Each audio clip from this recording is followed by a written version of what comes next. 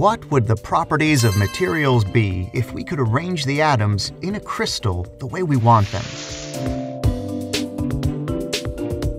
This question was first asked by a curious physicist named Richard Feynman in a lecture full of profound ideas about manipulating and controlling things on the atomic scale.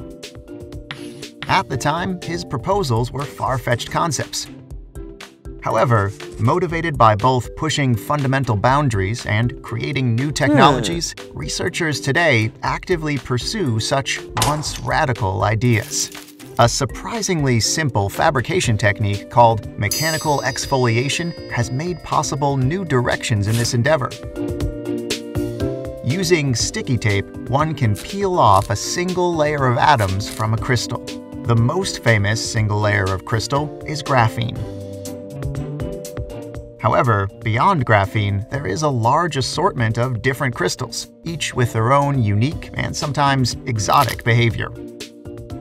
Different crystal layers can even be precisely stacked to engineer so-called heterostructures, man-made crystals with electronic and optical properties not available in nature. Due to the ultra-small atomic nature of these devices, the quantum mechanical properties of single particles of charge and light emerge.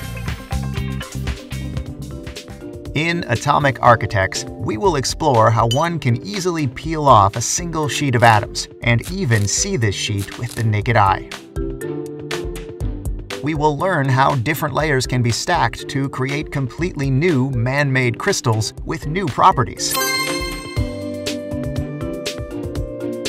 And we will see how these atomically thin materials can be used to make technology smaller, cheaper, and faster, and even dream about new technologies based on the laws of quantum mechanics.